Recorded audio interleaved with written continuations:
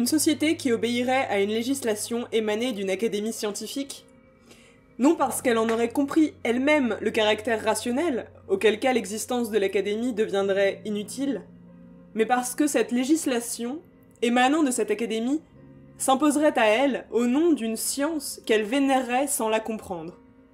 Une telle société serait une société non d'hommes, mais de brutes.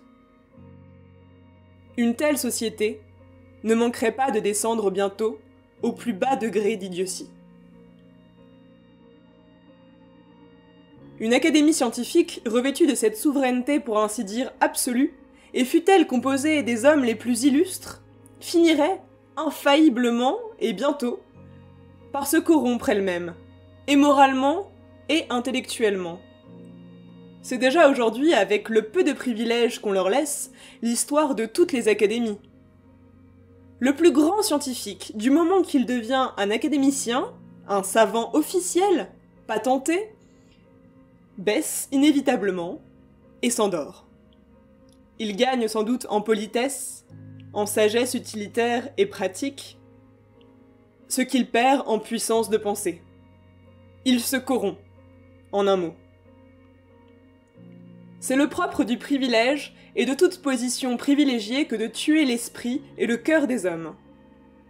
L'homme privilégié, soit politiquement, soit économiquement, est un homme intellectuellement et moralement dépravé. Voilà une loi sociale qui n'admet aucune exception, et qui s'applique aussi bien à des nations tout entières qu'aux classes, aux compagnies et aux individus. Mais ce qui est vrai pour les académies scientifiques, l'est également pour toutes les assemblées constituantes et législatives, alors même qu'elles seraient issues du suffrage universel. Ce dernier peut en renouveler la composition, il est vrai, ce qui n'empêche pas qu'il ne se forme en quelques années un corps de politiciens, privilégiés de fait, non de droit, qui, en se vouant exclusivement à la direction des affaires publiques d'un pays, finissent par former une sorte d'aristocratie ou d'oligarchie politique.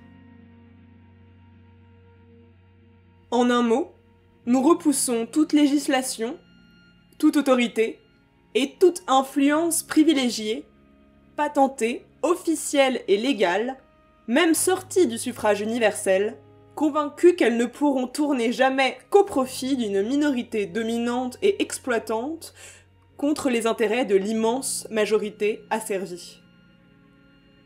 Voilà dans quel sens nous sommes réellement des anarchistes.